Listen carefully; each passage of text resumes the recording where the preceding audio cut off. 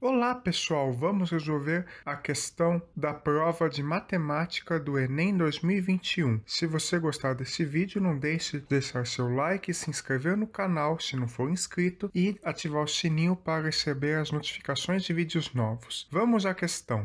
Uma máquina em operação tem sua temperatura T monitorada por meio de um registro gráfico ao longo do tempo T. Essa máquina possui um pistão cuja velocidade v varia com a temperatura T maiúsculo da máquina, de acordo com a expressão v igual a t ao quadrado menos 4.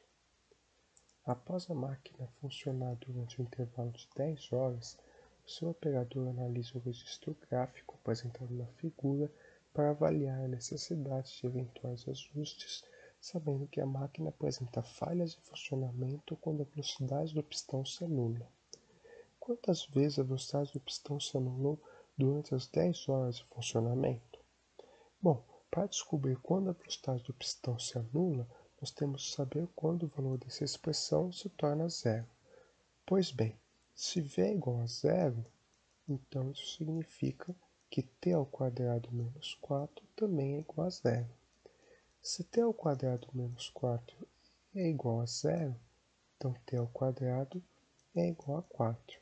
E extraindo a raiz quadrada, nós obtemos aqui então que o t ou é mais 2 ou é menos 2. Portanto, t é igual a mais ou menos 2.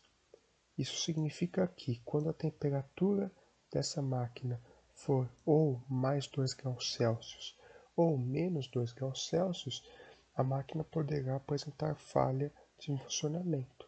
E essas precisamos agora calcular quantas vezes a temperatura foi mais 2 ou menos 2, Celsius, menos 2 graus Celsius durante as 10 horas de funcionamento. Olhando o gráfico aqui, nós vemos que na faixa dos 2 graus Celsius, a máquina teve duas vezes que ela chegou nesse valor, aqui e aqui.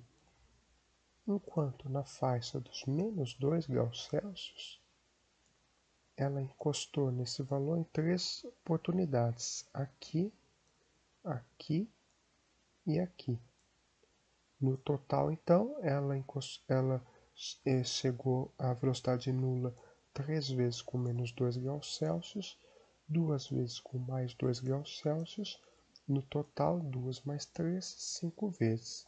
Portanto, a velocidade do pistão se anulou cinco vezes durante o funcionamento, o que corresponde à quantidade colocada na alternativa E, cinco vezes.